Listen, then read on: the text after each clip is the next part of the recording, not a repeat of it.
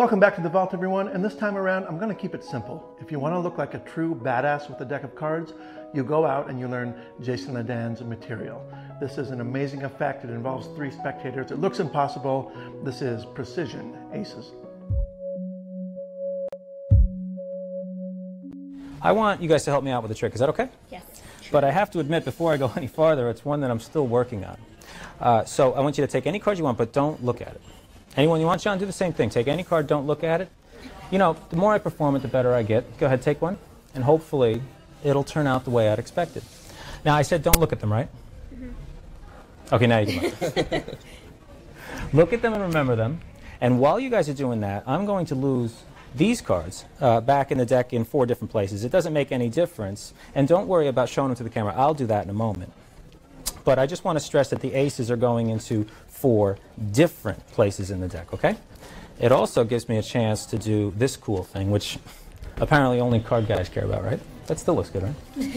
I'm going to take the aces, cut them into the deck. It doesn't matter where they end up now. But can you help me out? I want you to drop your card back into the deck. Uh, it doesn't make any difference. Near the top is fine. Right about uh, here's fine.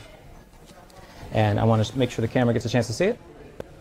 And uh, can you drop your card, John, right about here?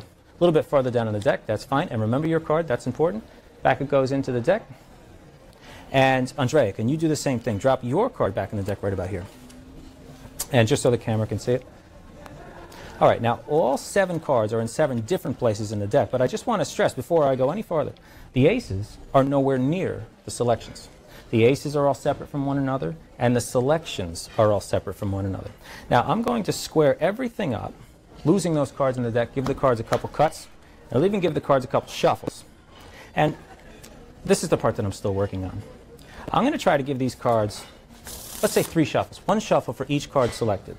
And what I'm going to try to do is get those aces to gather into the exact center of the deck. Now think about that for a second.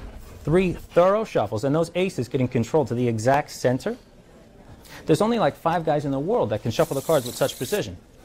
But unfortunately, I'm not one of them. You see, I can never get those aces exactly together in the center of the deck. You know, I'm getting better. What was the card, Andrea, that you picked? What was it? Four of hearts. Four of hearts, like that four of hearts. John, what was your card? Seven of hearts. The seven of hearts, like that seven of hearts? Yep. Hannah, what was your card? I think the five of hearts. Five of hearts? Like that five of hearts? I'm, I'm working on it, but